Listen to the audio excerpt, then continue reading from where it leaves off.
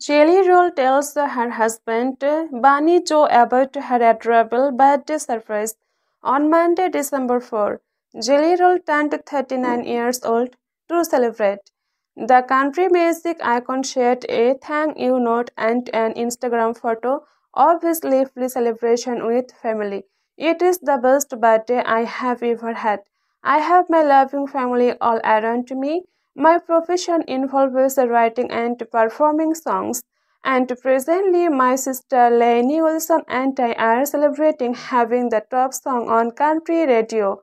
The native Faber singer captioned a selfie of himself, grinning with his dog, saying, God is amazing, thanks for all the love. The following slide is a video of the private birthday party that his wife Bunnie XO organized.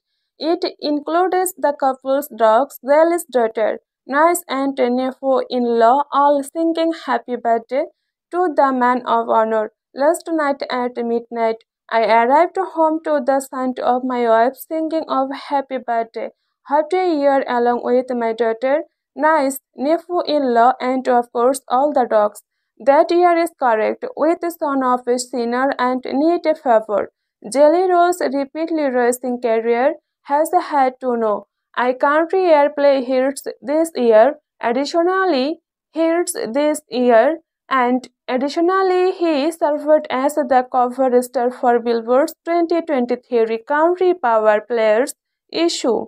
Later in the year, he spoke and performed at Billboard's first ever Billboard Country Live in concert event, which took place in Nashville. The celebrity is a nominee for two Grammy Awards at the 2024 ceremony, one for Best New Artist and the other for Best Country Duo or Group Performance for her and Lainey Wilson's remix of Save Me.